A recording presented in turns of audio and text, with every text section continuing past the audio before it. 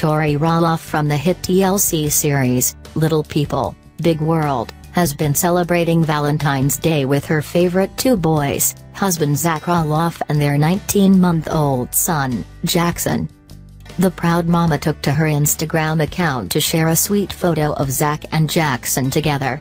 The cute image saw both standing on a tree stump, with Zach down on his haunches slightly as he reached down to high-five his baby boy. While Zach was dressed in a warm black winter coat, Jackson was wearing denim overalls over a black sweater. In the background, the wintry landscape seemed misty with rolling hills rising up behind them. Tori wrote a long caption to accompany the post, praising both her husband and her son for the wonderful role they've played in her life, and how they have brought nothing but joy to her. She further shared just how much she appreciates what an incredible father Zach is to their sweet little boy.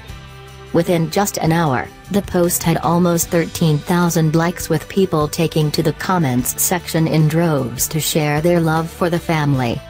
Absolutely beautiful you guys are a blessing to watch and wonderful parents that boy is so adorable happy Valentine's Day and God bless you guys, one fan wrote. Tori also shared another post of baby Jackson asking someone extra special to be his Valentine in a series of photos. In the image showed baby Ember Jean holding that same balloon and smelling a few red roses. In the another image, Ember Jean was peeking through a cracked door with Jackson waiting outside to give her the special Valentine's Day gift. According to the caption, the purpose behind Jackson bringing Valentine's gifts to his cousin is to teach him how to love, and it's certainly an adorable way to do it, to do it.